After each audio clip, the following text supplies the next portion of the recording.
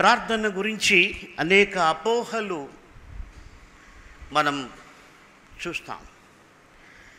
అంటే ప్రార్థన అంటే మనిషి తనకిష్టం వచ్చింది దేవుణ్ణి అడగచ్చు. ప్రార్థన చేస్తే దేవుడు మనకి ఇస్తాడు ఇవి జనరల్గా చెప్పుకునేటువంటి విషయాలు. అయితే మనం గతంలో బైబిల్లో చూసాం మన ప్రార్థన ఎలా ఉండాలంటే దేవుని వాక్యానుసారంగా ఉండాలి. భక్తుడన్నాడు. ఉదయమున నా కంఠధ్వని నీకు వినబడును.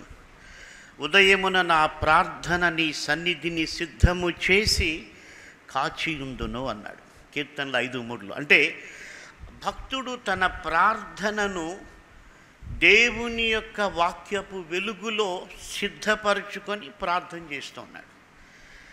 మనకిష్టం వచ్చినట్టు ప్రార్థన చేయడానికి బైబిల్ ఒప్పుకోదు. ఎందుకంటే మనము చాలాసార్లు మన మనస్సుతో ప్రార్థన చేస్తాం. మనకు ఎమోషన్స్ని బట్టి ప్రేయర్ చేస్తాం. మన ఫీలింగ్స్ని బట్టి ప్రార్థన చేస్తాం. అయితే దేవుని వాక్యంలో మనం నేర్చుకోవాల్సింది ఏంటంటే దేవునికి ఇష్టమైన విధంగా మనం ప్రార్థన చేయాలి. అందుకే యేసు ప్రభు మన బలహీనతలు ఆయన ఎరిగి ఆయన ఏమన్నాడంటే మీరు ప్రార్థన చేయనప్పుడు దేవుని చిత్తము జరిగేట్టుగా ప్రార్థన చేయమని నేర్పించాడు. ఎందుకంటే మన చిత్తము చాలాసార్లు పరిస్థితుల ప్రభావాన్ని బట్టి చాలా బలహీనంగా ఉంటుంది. ఆ యొక్క ఏలియా లాంటి గొప్ప భక్తుడు తన జీవితంలో డిప్రెషన్లోకి వెళ్ళి ఇక చాలు నా బ్రతుకు తీసుకోమని ప్రార్థన చేశాడు. అంటే మనిషి చేసేటువంటి ప్రార్థనలు చాలాసార్లు వాళ్ళ ఎమోషన్స్ పైన ఆధారపడి ఉంటాయి అందుకే మనం ప్రార్థన అంటే ఏంటంటే వెంటనే మనం గుర్తుకు రావాలి నేను వాక్యానుసారంగా ప్రార్థిస్తూ ఉన్నానా లేదా? గతంలో మనం చూసాం యేసు ప్రభు ఎగ్జాంపుల్ చెప్పాడు మీరు అన్ని జనులు చేసినట్టు ప్రార్థన చేయదు వారు విస్తరించి మాట్లాడితే దేవుడు వింటాడని అనుకుంటారు. లేకపోతే ఎక్కువసేపు ప్రార్థన చేస్తే దేవుడు వింటాడని వారు అనుకుంటారు. మనమైతే దేవుని యొక్క వాక్యపు వెలుగులో మన ప్రార్థనను మనము సిద్ధపరచుకోవాలి. గమనించండి ఈ కష్ట సమయాల్లో ఈ యొక్క వైరస్ ప్రపంచంలో ప్రశ్న ఏంటంటే దేవుడు ఎందుకు ఇలాంటి వైరస్ని ఇంత భయంకరమైనటువంటి వైరస్ని ఈ భూమిపైకి పంపించాడు? అన్నదో పెద్ద ప్రశ్న. బైబిల్ ఏం చెప్తుందంటే ప్రపంచంలో ప్రతి సమస్యకు బైబిల్లో సమాధానం ఉంది ఉపద్రవాలు కరువులు తెగుళ్ళు బైబిల్లో ఎందుకు వచ్చాయని మనం చూస్తే ఎప్పుడైతే దేవునికి వ్యతిరేకంగా ప్రజలు జీవించారో ముఖ్యంగా ఇక్కడ ఒక విషయం మనం అర్థం చేసుకోవాలి. దేవుని ప్రజలు దేవునికి వ్యతిరేకంగా జీవించినప్పుడు చాలా ఉపద్రవాలు వచ్చాయి. జనరల్ పబ్లిక్ని పక్కన పెట్టండి.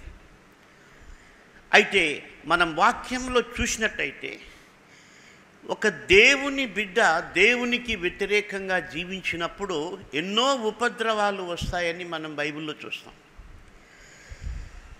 యోనా చేసినటువంటి ఒక చిన్న లేకపోతే దేవునికి వ్యతిరేకమైనటువంటి ఒక తలంపు ఆయనకు వచ్చింది. ఏంటంటే నేను నినవేకు వెళ్ళను తార్షీసుకు వెళ్తాను.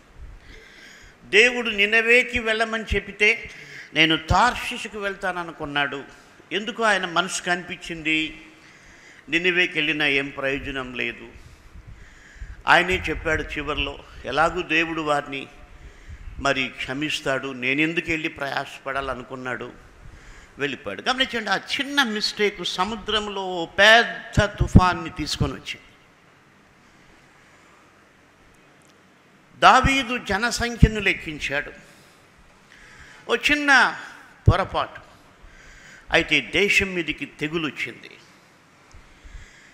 కాబట్టి ఇక్కడ మనం నేర్చుకోవాల్సిన పాఠం దేవుని బిడ్డలుగా మనం నేర్చుకోవాల్సిన పాఠం ఏంటంటే నాలో ఉన్నటువంటి తప్పిదం వలన లేకపోతే నేను దేవునికి లోబడకపోవడము వలన ఈ వైరస్ వచ్చిందా అని మనం ప్రశ్ ప్రశ్నించుకోవాలి.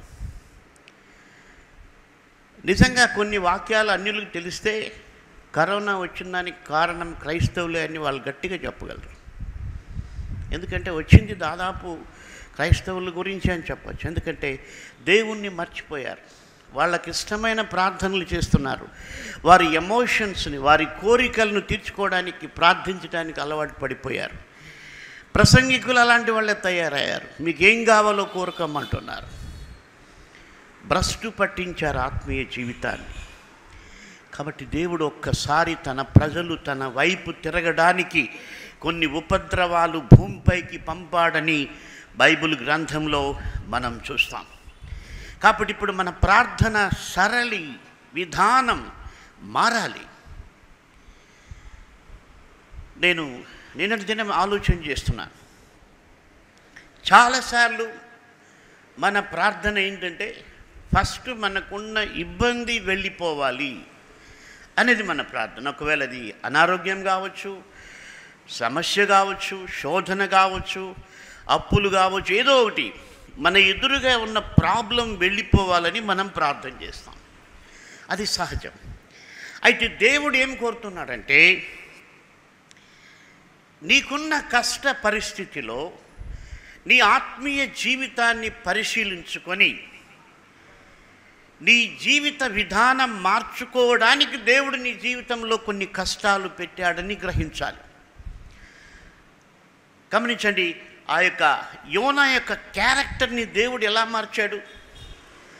ఆయన క్యారెక్టర్ మారింది.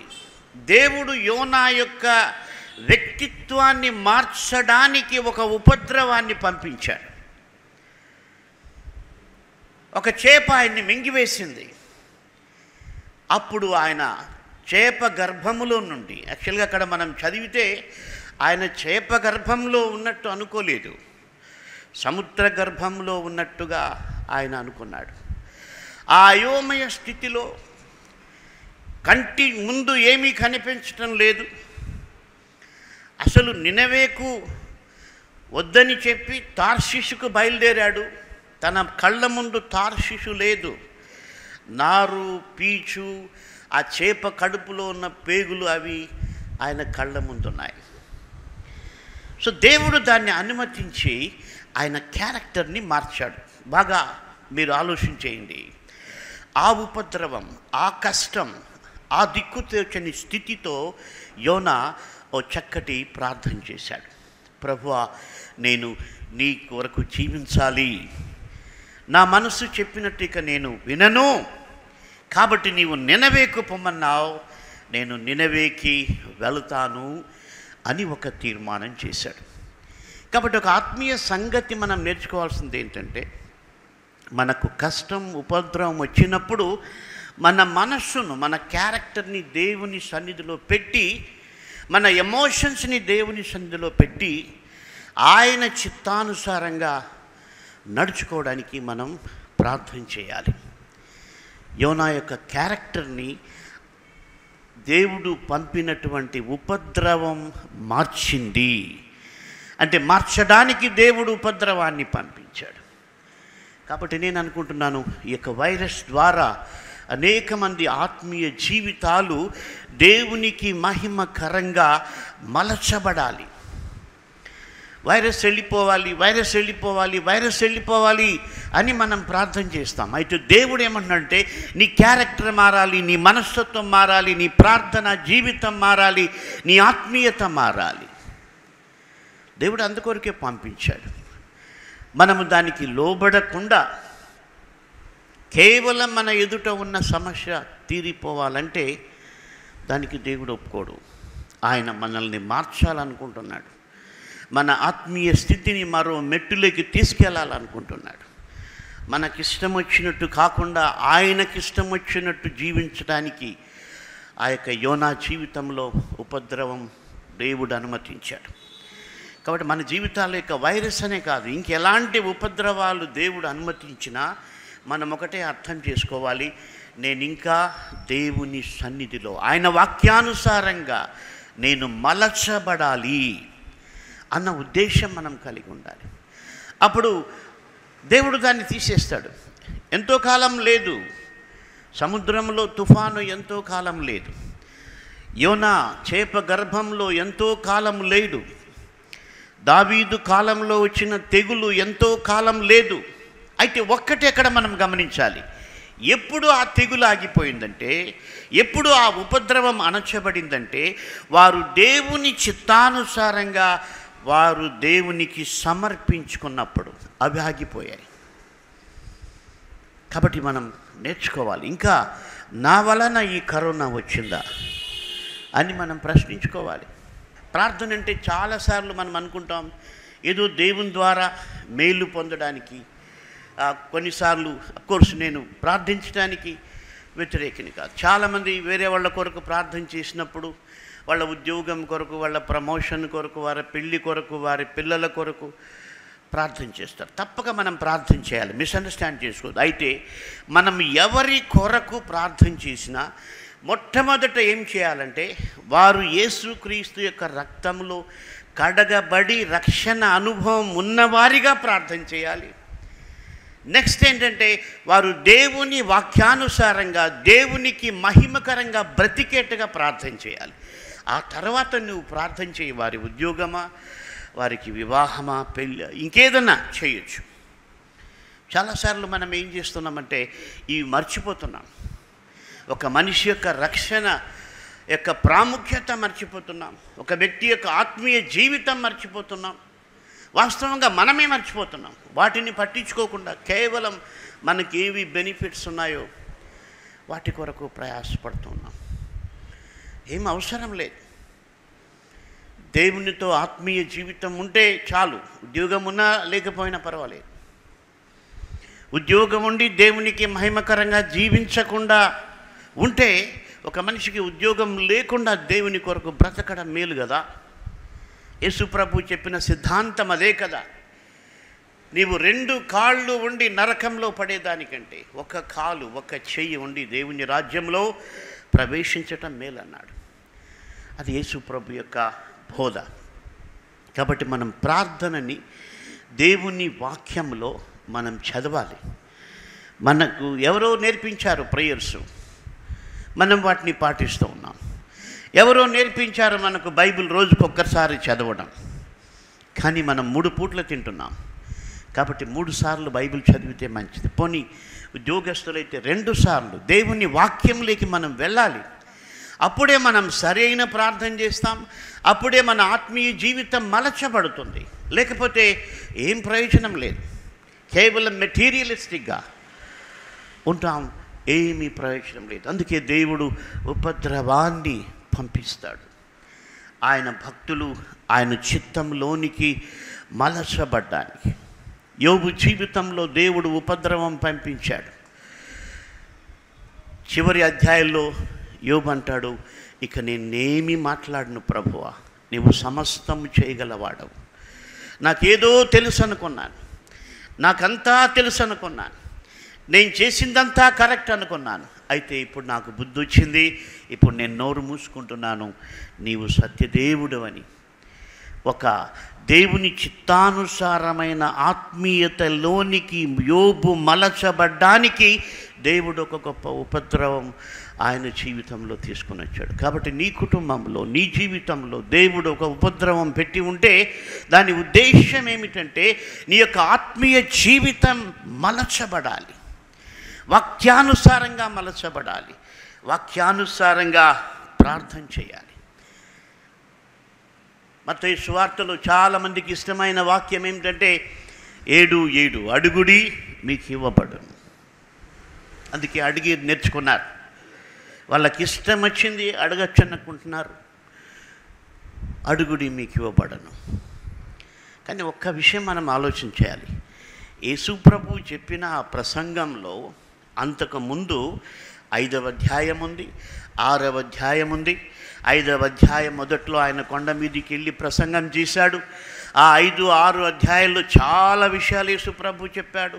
ఆత్మ విషయమై దీనత్వం కలిగి ఉండాలని ఆత్మీయత కొరకు దుఃఖపడాలని సాత్వికం కలిగి ఉండాలని కనికరం కలిగి ఉండాలని హృదయ శుద్ధి కలిగి ఉండాలని దేవుని కొరకు హింసించబడే మనస్సు కలిగి ఉండాలని నువ్వు చేసే ప్రార్థన రహస్యంగా ఉండాలని నువ్వు చేసే ప్రార్థన దేవునికి ఇష్టంగా ఉండాలని చెబుతూ ఆ తరువాత ఏడవ అధ్యాయంలో అడుగుడి మీకు ఇవ్వబడను. కాబట్టి మనం ఎప్పుడు సరైంది అడగగలమంటే ఇక ఐదు ఆరు అధ్యాయాల్లో మన జీవితాన్ని పరిశీలించుకొని ఆ ప్రకారం మనం జీవించగలిగితే అప్పుడు మనం దేవుణ్ణి సరి అయిన విషయాలు అడుగుతాం. అదే దావీదు కీర్తనలు ఇరవై ఐదు పన్నెండులో రాశాడు యహోవాయందు భయభక్తులు గలవాడు కోరుకొనవలసిన మార్గమును ఆయన వానికి బోధించును. కాబట్టి నువ్వు దేవుణ్ణి ఏం అడగాలి అనేది ఎప్పుడు అర్థమవుతుందంటే ఆ యొక్క ఆత్మ సంబంధమైనటువంటి వాక్యపు వెలుగులో నీ జీవితాన్ని చూసుకున్నప్పుడు. కొన్నిసార్లు మనం ప్రార్థన చేస్తాం. చెప్పాను కదా ఎమోషన్స్తో మనం ప్రార్థన చేస్తాం. ఎవరికో ఏదో నష్టం రావాలని ప్రార్థన చేస్తాం. యేసు ప్రభు బోధ మనం అర్థమైతే ఆ కొండ మీద ప్రసంగమే మన హృదయంలో ఉంటే శత్రువుల్ని ప్రేమించమని దేవుడు చెప్పాడు. Bless them which curse you అన్నాడు ఇంగ్లీష్లో. మిమ్మను హింసించు వారి కొరకు ప్రార్థన చేయడం అన్నాడు. మరి అలాంటి ప్రార్థనలు చేయలేం కదా? కాబట్టి మనం వాక్యానుసారమైంది చేయాలి. మన ఎమోషన్స్తో చేయకూడదు. నేను చాలాసార్లు దేవుని సన్నిధిలో ప్రార్థన చేసినప్పుడు కొన్నిసార్లు అనుకోకుండా చిన్న ప్రార్థన పరిశుద్ధాత్మ దేవుడు నాతో ప్రేయర్ చేయించడం నేను గమనిస్తాను. నేనేం చేస్తానంటే చాలాసార్లు ప్రభా ఒకవేళ భవిష్యత్తులో నేను ఏదైనా నీకు ఇష్టము కానీ ప్రార్థన చేస్తే దయచేసి నీవు దాన్ని వినొద్దు అని ప్రార్థన చేస్తాను. ఒక చిన్న ఎగ్జాంపుల్ చెప్పి నేను ముగిస్తాను. టైం అయిపోయింది. పంతొమ్మిది వందల తొంభై రెండులో నేను తిరుపతికి వచ్చాను. దేవుని నడిపింపుతో వచ్చాను. చాలా కష్టాలు పడ్డాను. పిల్లలకి ఆకలేసి అరిస్తే పెట్టలేని పరిస్థితి. ఉండడానికి నిలువ నీడలు లేకుండా ఎక్కడ ఇల్లు దొరకని పరిస్థితి. అయితే ఎందుకో చిన్న ప్రార్థన చేశాను దేవుని దగ్గర. బాగా ఉపవాసం ఉండి చేస్తున్నప్పుడు లేకపోతే దేవునితో మనం చక్కగా నడిచినప్పుడే కొన్ని మంచి ప్రార్థనలు చేయాలి. మన ఎమోషన్స్తో మనం డెసిషన్ తీసుకోకుండా.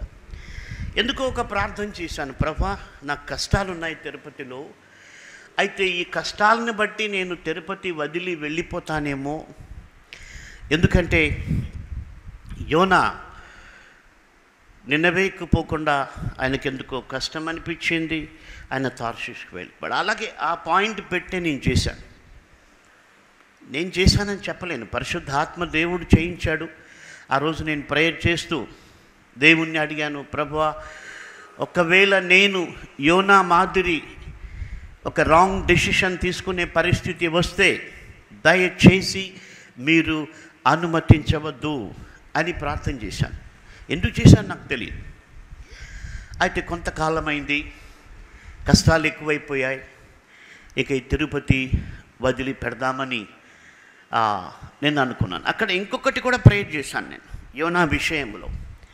ప్రభా యోనా అంటే ఆయన నిన్నవేకు పోకుండా తార్షిష్కు పోవడానికి ఆయన ఓడలో టికెట్ కొనాలి. ఎందుకో నేను ప్రయత్నం చేశాను ప్రభా ఒకవేళ నీ చిత్తం కాకుండా తిరుపతి వదిలే పరిస్థితి వస్తే నన్ను మీరు అడ్డగించండి. నన్ను మీ చిత్తంలో నుండి దూరం చేయొద్దు అని ప్రార్థన చేశాను. అయితే ఇవన్నీ మర్చిపోయాను. ఈ కమిట్మెంటు ఈ ప్రార్థన ఇవన్నీ మర్చిపోయాను. చాలా కష్టాలు ఎక్కువైపోయాయి. నేను నమ్మినటువంటి వాళ్ళు మోసం చేశారు సంఘాన్ని చీల్చారు. తట్టుకోలేకపోయాను. ఇక నాకు తిరుపతి వద్దనుకొని నిర్ణయించుకొని ఆ ఎమోషన్లో అందరికీ రిజర్వేషన్ చేసుకొని వేరే ఊరికి వెళ్ళిపోవడానికి నేను నిర్ణయించుకున్నాను. అంటే ఇంకా ఇప్పుడు దేవుని గురించి ఆలోచన చేయడం లేదు నా కమిట్మెంట్స్ ఆలోచన చేయడం లేదు కేవలం నా ఎమోషన్స్తో నేను డెసిషన్ చేస్తున్నాను. వెళ్ళాను. అప్పుడంతా ఇప్పుడు ఆన్లైన్ బుకింగ్ ఉంది. నేను చెప్పేది అప్పుడు ఏం లేదు. క్యూలో పోయి టికెట్లు తీసుకోవాలి అనుకుంటున్నాను. ఇంకా ఈ రోజుతో నాకు తిరుపతికి సంబంధం ఉండదు. ఈ కష్టాలు ఈ శ్రమలు ఈ అన్యాయం నేను భరించలేనని అనుకొని ఇంకా వెళ్ళిస్తున్నా అనుకున్నాను. సరిగ్గా ఏమైందంటే నేను కౌంటర్ దగ్గరికి వెళ్ళి డబ్బులు ఇచ్చాను.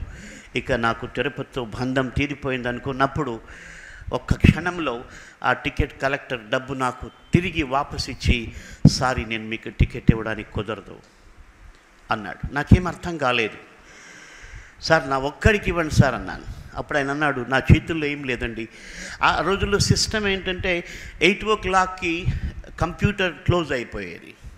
ఇప్పుడు ఎలా ఉందో సిస్టమ్ నాకు తెలియదు బట్ అప్పుడు ఏంటంటే ఎయిట్ ఓ క్లాక్కి ఎంటైర్ రైల్వే సిస్టంలో కంప్యూటర్ టికెట్స్ ఇచ్చేటువంటి సిస్టమ్ ఆగిపోయేది ఆయన అన్నాడు మీరు ఎంత రిక్వెస్ట్ చేసినా నేను ఏం చేయలేను. ఎందుకంటే నా చేతుల్లో లేదు. నేను మీకు టికెట్ ఇవ్వలేనని ఆయన డబ్బులు వాపసు ఇచ్చాడు. అప్పుడు దేవుడు నాకు గుర్తు చేశాడు. నువ్వు నాతో ఓ ప్రార్థన చేశావు. నా చిత్తం కాకుండా తిరుపతి విడిచి వెళ్ళే పరిస్థితి వస్తే నువ్వు నన్ను అడ్డుకోమన్నావు. కాబట్టి ఈరోజు నేను అదే చేశాను. కాబట్టి నువ్వు ఇక్కడ ఉండాలి నా చిత్తమైనంత వరకు అని ప్రభు అక్కడ ఆయన జోక్యం చేసుకో కాబట్టి దేవుడు మనం మంచి ప్రార్థనలు చేస్తే ఆయనకి ఇష్టమైన ప్రార్థనలు చేస్తే దేవుడు తప్పకుండా వింటాడు. మన ప్రార్థనలు ఏదో లోభముతో ప్రలోభముతో యేసుప్రభు చెప్పాడు. పన్నెండవ అధ్యాయం పదహైదవ వచనంలో కాసువార్త మీరు ఏ విధమైన లోభమునకు ఎడమియకుడి? ఒకని కలిమి విస్తరించుట వాని జీవమునకు మూలము కాదు. కాబట్టి చాలా మన ప్రార్థనలు లోభముతో నిండి ఉన్నాయి. చాలామంది బోధకులు అలాగే చేస్తున్నారు. నీకు ఒక ఇల్లు ఉంటే దేవుడు ఇంకొక ఇల్లు ఇస్తాడు. ఒక కారు ఉంటే ఇంకొక కారు ఇస్తాడు. ఒక టూ వీలర్ ఉంటే ఇంకొక టూ వీలర్ ఇస్తాడు. గమనించండి ఇవి లోభముతో కూడుకున్నవి. నీకు కారు ఇల్లు లేకపోయినా సంతృప్తిగా బతకమని బైబిల్ చెప్తుంది కదా. కేవలం అన్న పానములు కలిగిన వారమై సంతృష్టి సహితమైన భక్తి కలిగి ఉందామని బైబిలు ఎలుగెత్తి చెబుతూ ఉంటే నీవు దేవుడిచ్చినటువంటి దీవెనల్లో తృప్తి లేకుండా లేని దాని కొరకు ప్రయాసపడి బాధపడడం కేవలం అవివేకం. వాక్యం తెలీదు. వాక్యం తెలిస్తే దేవుని మనకు ఏ స్థితిలో పెట్టాడో ఆ స్థితిలో సంతృప్తిగా దేవుని స్థుతించగలం హల్లెలూయ. ఇవాళ నాకు ప్రాపర్టీస్ ఇవన్నీ ఉండొచ్చు కానీ అయితే నేను ఖచ్చితంగా చెప్పగలను. నాకేమీ లేనప్పుడు మా ఇంట్లో చాప కూడా చినిగిపోయిన చాప ఒకటి ఉండేది ఆ రోజుల్లో కూడా నేను సంతృప్తిగా బ్రతికాను దేవుని యొక్క కృప వలన. కాబట్టి సంతృప్తి అనేది మన చుట్టూ ఉన్న ఫెసిలిటీస్తో వచ్చేది కాదు. దేవునితో మనకున్న అనుబంధాన్ని బట్టి వచ్చేటువంటిది. కాబట్టి మనం నేర్చుకోవాలి. వాక్యం చదవాలి. వాక్యం దీనికి ఒప్పుకుంటుందా లేదా? ప్రార్థన చేయాలి. దేవునితో ముందుగానే చెప్పేయాలి. ప్రభా నేను ఏవేవో అడుగుతున్నాను కానీ మీ చిత్తం కాకపోతే ఏవి వద్దని చెప్పి కూడా మనం ప్రార్థన చేయాలి. అయితే విచిత్రం ఏంటంటే కొన్నిటి మనం ఆల్రెడీ ఇష్టపడి ఉంటాం కాబట్టి ప్రార్థన చేయలేము అలాంటి ప్రార్థన. అయితే నేర్చుకోవాలి. ఎందుకంటే నువ్వు కోరే దాని వెనక ఆపద ఉందేమో. నీవు ఆశిస్తున్నాని దాని వెదక మరి అపాయం దాగి ఉందేమో. ఎవరికి తెలుసు? కాబట్టి నీ చిత్తమైతే కాబట్టి మనం మన క్యారెక్టర్ మలచబడాలి. ఈ ఉపద్రవం వెళ్ళిపోవాలంటే మన ఆత్మీయ జీవితం మలచబడాలి. అందుకే యేసు ప్రభు ఆయన నేర్పించాడు. ఆయన శ్రమల వలన విధేయత నేర్చుకున్నాడని ఎబ్రి పత్రిక ఐదవ అధ్యాయంలో మనం చూడగలం. ఎనిమిదవ వచ్చిన అనుకుంటా ఆ తాను పొందిన శ్రమల వలన ఆయన విధేయత నేర్చుకున్నాను కాబట్టి మనకున్న కష్టాలు శ్రమల వలన మనము దేవుని దగ్గర విధేయతను పెంచుకుంటూ బ్రతకాలి. నీ ప్రార్థన నీ ఆత్మీయ జీవితాన్ని మలుస్తూ ఉండాలి. నీకున్న వస్తువుల్ని పెంచటం కాదు. నీకున్నటువంటి ఆ యొక్క ఫెసిలిటీస్ని పెంచటం కాదు. నీ ఆత్మీయ జీవితం విస్తరించబడాలి. అభివృద్ధి చెందాలి. అప్పుడు ఉపద్రవాలు పోతాయి. మన కుటుంబంలోని ఉపద్రవాలు మన ఊర్లోని ఉపద్రవాలు దేశంలోని ఉపద్రవాలు పోతాయి. ఎందుకంటే మనం దేవుని చిత్తానుసారంగా మలచబడినప్పుడు. దేవుడు ఎప్పుడైతే యోన తన క్యారెక్టర్ని మార్చుకున్నాడో ప్రభు నేను ఇంకా ఆ యొక్క తార్షిషుకు పోను. నేను తప్పు చేశాను. నా వలన ఈ ఉపద్రవం వచ్చింది. కాబట్టి నన్ను మార్చండి. అన్నప్పుడు దేవుడు ఎంత దయగలిగి చేశాడంటే సరిగ్గా ఆ యొక్క చేపకు ఎలాంటి ఆజ్ఞ ఇచ్చాడంటే నిన్నవే యొక్క తీరంలో ఆ యొక్క చేప యోనాను వదిలిపెట్టింది. ఎంత అద్భుతం! ఈయన ఆల్రెడీ నిన్నవేను వదిలిపెట్టి తార్సిస్కు ప్రయాణం అయిపోయాడు ఆ ఓడ ఎక్కడుందో తెలీదు. దాదాపు సగం దూరం వెళ్ళిపోయి ఉండొచ్చు. లేకపోతే తార్సిస్కు సమీపంలోకి వెళ్ళిపోయి ఉండొచ్చు. అయితే యోనా దైవ చిత్తానుసారంగా ప్రార్థన చేసినప్పుడు బైబిల్ చెప్తుంది ఆ యొక్క చేప సరిగ్గా నినవే తీరము దగ్గర ఆ యొక్క యోనాను బయటకి క్రక్కినట్టుగా మనం చూస్తాం. కాబట్టి నువ్వు దైవ చిత్తానుసారంగా జీవించడానికి ఇష్టపడితే దేవుని కృప నీకు తోడుగా ఉంటుంది. నీ ఇష్టానుసారంగా జీవిస్తే దేవుని కృపను నీవు నిర్లక్ష్యం చేసినట్టు. మరి దానివల్ల నువ్వు దేవుని ఆత్మీయతను పొందలేవు. కాబట్టి దేవుని చిత్తం మనం చేయడానికి ఇష్టపడితే ఆ తీరానికి లేకపోతే ఆ మార్గంలోనికి ఆ యొక్క పరిస్థితిలోనికి దేవుడు మనల్ని తప్పక నడిపించుటకు సమర్థుడు. అయితే మనం అడగాలి దేవుణ్ణి ప్రభువా నేను నీ చిత్తం చేయాలి. నా ఎమోషన్స్ వద్దు. యషియా గ్రంథంలో ఆ యొక్క దేవుడు చెప్పిన మాట కూడా ఏంటంటే ఉపవాసం ఉన్నప్పుడు మీరు లోక వార్తలు చెప్పుకొనకుండా అని కూడా ఆ మాట పెట్టాడు. కాబట్టి we should be separated from every kind of contamination అప్పుడు దేవుడు మన జీవితంలో ఆయన చిత్తం నెరవేరుస్తాడు. ప్రభాని ఈ రోజంతా నాకు ఇకే ఇవేమీ వద్దు. నేను నీతో గడపాలి నీ వాక్యం చదవాలి నీ వాక్యానుసారంగా బ్రతకాలి అని ఒక్కరోజు మనం స్పేర్ చేయగలిగితే లేకపోతే ఉద్యోగాలు ఉన్న వాళ్ళు ఒక్క పూట స్పేర్ చేయగలిగితే. ముఖ్యంగా గమనించండి ఈ యొక్క ఫాస్టింగ్ అనేది చాలాసార్లు మనం తిండి తినకుండా అనేది ఒక కాన్సెప్ట్ అయితే అయితే యశా గ్రంథంలో ఏం చెప్పాడంటే దేవుడు ఇవన్నీ మీరు చేయకుండా అన్నాడు. అలాగే ఇవన్నీ మీరు చేస్తూ అన్నాడు. యాభై ఎనిమిదో అధ్యాయం మీరు ఎప్పుడైనా చదవండి. కాబట్టి మీరు ఆ యాభై ఎనిమిదవ అధ్యాయం ఇంట్లో చదివి దేవుణ్ణి ప్రార్థన చేయండి. ప్రభా నేను ఒక రోజు లేకపోతే ఒక్క ఒక్క పూట నేను ఇవేవి చేయకుండా లోక వార్తలు చెప్పుకోకుండా దేవునికి ఈ లోక సంబంధమైనటువంటి విషయాల్లో ఇన్వాల్వ్ కాకుండా మనం ప్రార్థన చేస్తే దేవుడు మనల్ని ఒక చక్కటిగా చక్కగా ఆయన నడిపిస్తాడు. ఆయన ఉపద్రవం తెప్పించింది యోనాని చంపడానికి కాదు. యోనా యొక్క వ్యక్తిత్వాన్ని మార్చడానికి. అలాగున దేవుడు మన ఆత్మీయ జీవితాన్ని మలిచి తనకు మహిమకరంగా మన జీవితంలో ఉన్న ప్రతి కష్టాలు మనము ఆయన చిత్తానుసారంగా మలచబడుట ద్వారా అవి తొలగిపోవునట్లు దేవుడు మనకు సహాయం చేయనుగాక. ప్రార్థించుకుందాం. దయగల ప్రభా మిమ్మల్ని స్తుతిస్తూ ఉన్నాం అవును తండ్రి మా యొక్క వ్యక్తిత్వం మార్చబడాలి మలచబడాలి. మేము మీకు సమీపం కావాలని మీ వాక్యంలో చూస్తూ ఉన్నాం. యోనా మీకు దూరమైపోతున్నప్పుడు ఒక ఉపద్రవమును మీరు కలిగించి ఒక ఆపదను మీరు ఆయనకు కలిగించి ఆయన్ను మీ వైపుకు మలుచుకున్నారు. కాబట్టి లోకం మీద మాపై ఉన్నటువంటి ఈ యొక్క కష్టాలు ఉపద్రవాలు మేము మలచబడడానికని మేము మీకు సమీపము కావడానికని గ్రహించిన వారమై మీరు కోరుకున్న విధంగా మా జీవితంలో మీతో మాకున్న అనుబంధాన్ని పెంచుకోవడానికి మా ఎమోషన్స్ని బట్టి కాకుండా మా డిజైర్స్ని బట్టి కాకుండా మీ వాక్యానుసారంగా ప్రార్థించుటకు మాకు నేర్పమని నీ భక్తుడు దావీదు ప్రార్థించినట్టుగా నీవే నా దేవుడవు నీ చిత్తానుసారంగా ప్రవర్తించుటకు నాకు నేర్పము అని మేము ప్రతిరోజు ప్రార్థించుటకు సహాయం చేయమని ఏసు దయగల నామమున ప్రార్థిస్తున్నాము తండ్రి. ఆమెన్.